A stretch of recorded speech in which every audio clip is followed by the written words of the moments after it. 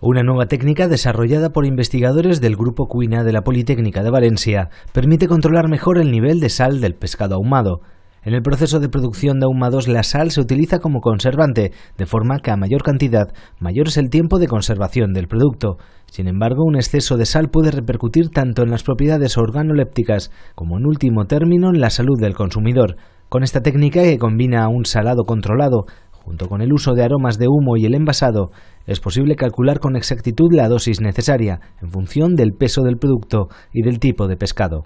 El principal problema de los productos ahumados que hay en el mercado es que hay mucha variabilidad en el contenido de sal. Hay productos ahumados que tienen desde un 1%, un 1,5% a productos que oscilan o, están muy cercanos al 4%. Entonces, esta variación o esta variabilidad en el contenido de sal pues tiene repercusiones tanto desde el punto de vista organoléptico como desde el punto de vista de la seguridad del producto porque un producto con una cantidad menor de sal es un producto que tiene un riesgo de proliferación microbiana mayor.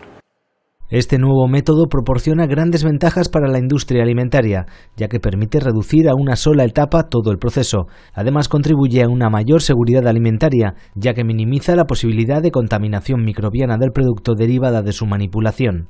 Principalmente se reduce el número de etapas en el que se lleva a cabo el proceso, entonces lo que hacemos también es reducir la manipulación del producto. Al reducir la manipulación del producto durante el procesado también se minimiza pues, una posible contaminación del producto durante el mismo.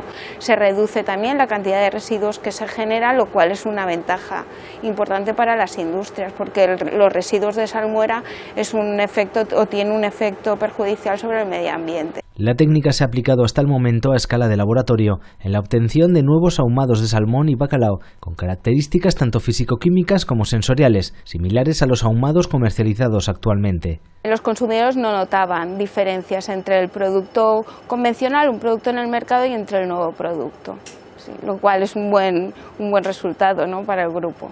Los resultados obtenidos han sido publicados en la revista Journal of Food Engineering.